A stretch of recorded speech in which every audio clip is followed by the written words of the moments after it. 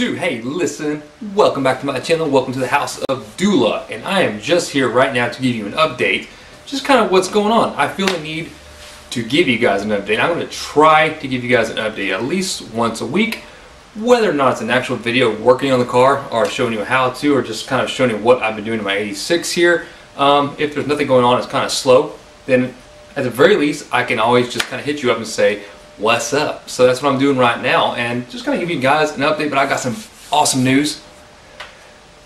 Big news. okay, so I've been promising the On3 turbo build and it's coming. It's coming. It is set in stone. It should be on order this week. Yeah, so uh, we're going to be on 3 turbo kit really soon. So Maybe things have been slow around here, been waiting on some things to pan out money-wise, but otherwise we are going to be ordering that kit this week. Um, probably as soon as this upcoming Friday, so we'll probably get the kit in next week. I may even take a trip down to LMR and pick it up on Saturday, maybe possibly. Who knows? Um, if not, we'll be getting that stuff in. So along with the On3 build, if you guys know, is not obviously uh, just order the kit and be done. There's a lot of pieces to it that nickel and dime you. Um, and I've got a lot to learn on this build. So we're going to go through it together step by step. The whole thing, the installation, um, every little piece that we're going to be getting for the car. I got to get fuel injectors. We need to get a new mass air flow sensor. Um, I got to get a lot of uh, heat shield equipment, uh, boots, and uh, blankets. And I'm going to go ahead and get the Y pipe and probably connect it to the existing exhaust because I'm kind of keeping that stalker look. I don't want anything too racing, too outrageous. Um, but I do want to make sure I got the boost control in check and I want to make sure I got some pretty top-notch components and I'm probably going to try to take a lot of the kit from On3 and uh, do some stuff to it before I put it in the car. Um, like get the uh, the hot side ceramic coated and uh, whatnot. So basically I'm just I'm telling you this is it. This is the, big news right now. I'm going to be putting the On3 kit on soon. I promised you this for two years and my god I'm sorry it's taken so long to get this point but everything we've done this car is kind of built up and led up to it and I'm ready to do that so I'm reaching out to uh, the North Texas Fox Body Club, here the local club members here. A lot of these guys are running this kit. Um, a lot of them are running aftermarket tuners, Mega Squirt or Micro Squirt, Mega Squirt, Micro Squirt, and um, the aftermarket tuners. So some of them are also running the stock. I'm going to try to run the stock and uh, get it tuned with a super chip that's in it now. So we'll see how that goes. If we have to switch to a uh, Micro Squirt for the Fox body, like the plug and play or even just a standalone unit, um, we'll wire that in and get that going. We may learn how to tune too. I don't know. It's going to be a, a journey from here on out. Um, one thing I don't want to do is drag on all through spring and summer. So I see right now it's freaking February, and I swear to God, we hit 80 degrees in Texas. How cool is that? No pun.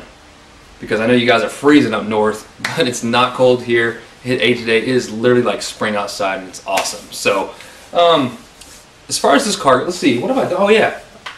I put a sub in it. If you guys follow me on Instagram, um, I did post some pictures of this. I'm not a big audio guy. I'm not like a big audiophile. I'm not looking to thump windows out. But um, I did, whenever we did the interior, I replaced the stock speakers up front with the correct size. Little two and a half inch speakers. Two and a half, three and a half. Can't remember the small speakers. Anyways, it's a stock size speaker up front. And I went with some Rockford Fosgate punches. It's got some punch 6x9s in the back. Um, and the cars never had any kind of low end at all. And I like I like like a full sound. You know, I don't want to thump the windows out completely, but I want some depth. And I went out and saw this on Amazon. This is a Cerwin-Vega uh, 10 inch pre-powered all-in-one low-profile sub. Most cars will fit under the seat. Fox body it won't. Um, however, it is it is tiny, um, but it is a 10 inch sub and it packs some punch. This is a 400 watt system. I think it's 400 watt um, RMS, not peak. Now, 200 RMS, 400. No, 550 max. Yeah, 200 RMS, 550 max. And uh, man, it's got it's got a um, controller. I'm going to show it to you. I don't know how much you're to be able to pick up the sound in the interior, but I'm going to try. So, uh, yeah, let me show it to you. Okay, just kind of show the install. It's moseying on back here, the trunk. I've been cleaning the trunk up a little bit. So there it is. Um, you can see the size of it. The best spot that I could put it was right next to the battery box. It's mounted so it won't move. Um, it's actually screwed down into the trunk on the corners here and here. I didn't want to go too far this way because I didn't know what was underneath it. But anyways, it's mounted. I've got it wired directly into the battery box. So it's got an independent fuse here. um, and it goes directly to the terminals in the battery box. It's got straight connection. I went way overkill on the wires here. I went four gauge in it, and I've got everything routed, you know, up to the car, nice and neat where you can't see it. And um, anyways, this thing is absolutely so loud. I had to actually turn it down um, halfway in the car. So I've got everything set to how I want. It took me a little bit to get it set. Let me show you the interior. Let me close the trunk because if you don't, it doesn't help the sound out much. That big flat glass on the back of these hatches with a sub back there pointing towards the glass really reverberates. The car is pretty small as it is, so you can definitely uh, definitely hear it. It's actually actually pretty good. So what I'm going to do, by the way, you can hear how nice and quiet it is in here now, can't you? Um, so in case you don't know, I do have sound deadening material in the whole car. Um, it's on the whole floorboards and in some of the trunk there. But um, this kit, the sub, comes with this guy right here. So I've got it turned halfway up. Um, what I'm going to do leave that. And uh, let me get some tunes on here. Hang on. What I'm first going to do, I'm going to turn off the sub. So I want to go to uh, sub level. Let's see here subwoofer set, and we'll turn it off. Okay, so this is what it sounded like before. Let me get something cute here. Okay, so you're gonna listen to Soil. Um, anyway, it was on my phone. I don't listen to them all the time, but I do listen to hard rock, so that's what you guys get to hear. This is without the sub.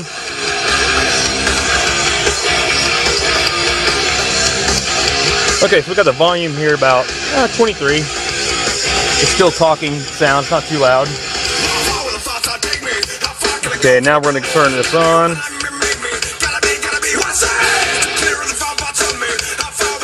Okay, here's the subwoofer on.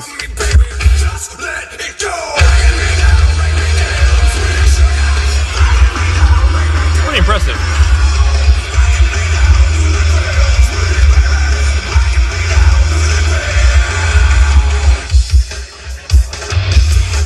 Okay, anything that's loud, you can turn it up more even though I don't want to, it's plenty.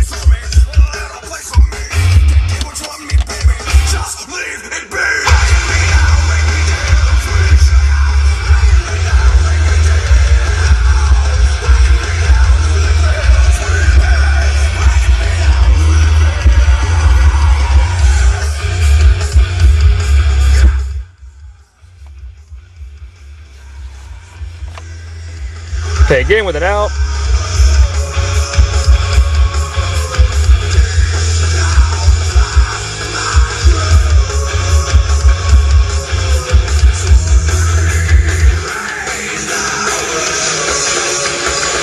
Okay.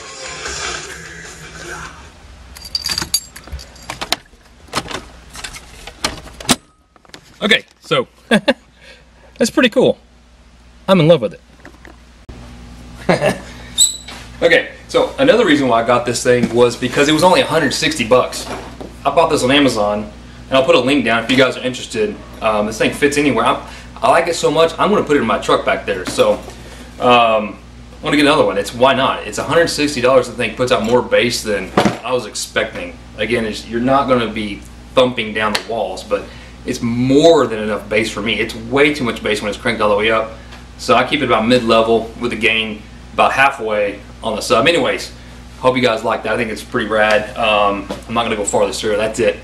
Now we're going to work on turbo. And then uh, what's after the turbo? Let's see. After the turbo, I think it's going to take a long time to get everything dialed in, um, especially if we put too much power to the motor. Who knows what's going to happen I don't want to blow the motor. I don't want to split the block in half. These blocks about 500-ish, they say, um, can split the block, block in half. And that's on a good tune or a, a you know, tune that can go awry. Uh, so you want to obviously keep really good taps on the boost.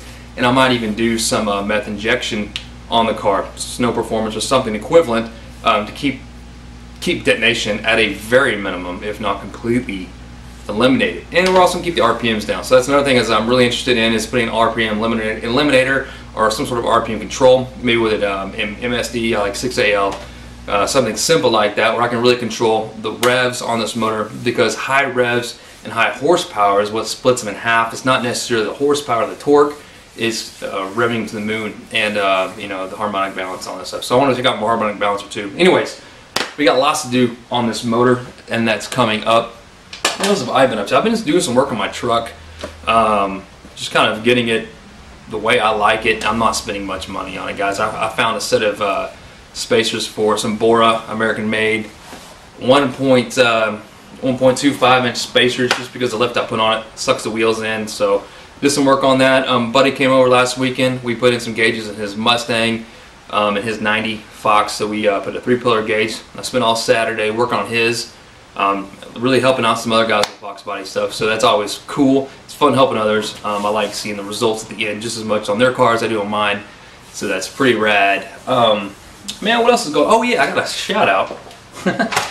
I got a shout out from a, a, a, YouTube channel, a new kind of up and coming, I guess, new to YouTube guy who is trying to create his own um, Fox body channel. His name is Matt, and forgive me if I mispronounce your name, Matt uh, Deganaro. Deganaro. Yeah, check it out. So, search him. Um, he's called out me and all my YouTube buddies, man. He's called out Brutal. He's called out uh, Justin.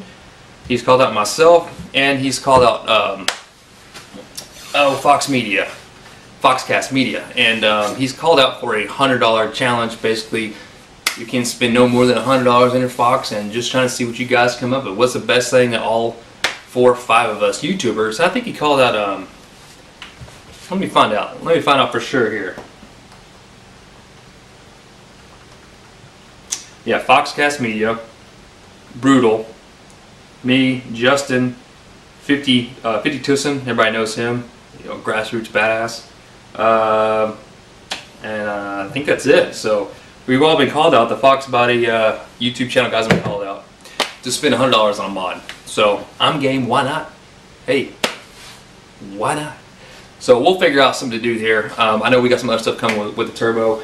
That's going to be the main key. I probably won't see, probably won't see me again until we start getting parts in. And once we start getting parts in, we start tearing apart this car to fit everything. So the plan is just to really get the turbo in and um, pre-fit everything, probably take it all off to get it recoated. Um, so we'll put the hot side in, get the intercooler mounted, make sure everything fits. Man, I don't want to hack up my bumper. Kind of scared um, because there's it's it's going to be a tight fit, uh, especially with AC. I plan on keeping my AC. I want to make sure that this car is drivable in summertime, wintertime, anytime with 500 horsepower. That's the goal. So it's pretty easily reachable uh, with this motor and with boost. So I just want to be careful and do it safe. That's it. Oh no, I uh, you'll see this coming out soon too. I've got some uh, another LED company who's reached out to me, and guys, I, have got companies reach out, reach out to me, and I don't want to say all the time, but um, really, it's, it's it, I'll be honest, some of it's it's kind of junk. JDM was not. Um, I like to do their products because all their stuff has been has been really nice, and they did a lot of work as far as helping me out on my Mustang. So that's cool. That's the only sponsorship I've ever gotten. Uh, JDM was the only person that's reached out to me. I said sure on, uh, but this company, Boslla, B-O-S-L-L-A, they caught my eye because they make this LED bulb that changes color temperature. You can adjust the color temperature by toggling your light switch on and off. So it starts out 6000 K, turn it off, turn it back on, it's uh, like 4300 yeah, turn it off back on. Then it's 3000 K, which is a bright orange for fog and rain. So this is all meant for like foggy, rainy conditions and whatnot. And then you turn off again, turn it back on, and it flashes for like a warning. So it's kind of cool. They call it the world's first um, four-color LED bulb. So they don't make them for the Mustang here. They might. I take that back. They actually might. But we already got the JDM lights in my Mustang. I'm super happy with those. I'm keeping that. So uh, they sent me a set and I put in my F-150. So, anyways, um, they're expensive. They're like 139, 140 bucks, and uh, the company is going to supposedly be giving me a 40% off code to give you guys, um, and I'll pass them on to you. So, anyways, otherwise, absolutely zero sponsorship, guys. I do this for fun and nothing else. But that's it. I'm going to wrap this up. Uh, you guys will see me more. I'm going to start doing more videos kind of like this. Um, if you guys, I'm going to do another challenge maybe with you guys, with the viewers. I want to be more connected with y'all. And if you guys can, you know, hit me up with some questions, hit me up with uh, maybe tell me what you think I'd do with the car after the turbo, or do you think I'm an idiot for doing the turbo and I should just leave it alone? It's clean, daily drive it. Um, or do you think I've already gone as far as I have with mods on it? Why not just go ahead and go the turbo? I know a lot of you guys are gonna have opinions about On 3, uh, so feel free to hit me up with that. If you've got On 3 experience and you've got something that I should absolutely not forget to do whenever I install this kit, let me know. So please be engaged, um, hit me up, and um, other than that, follow me on Instagram. I'll be posting everything that I'm doing on Instagram before it gets out to you. And that's it. So we'll see you guys next time, man. Take care.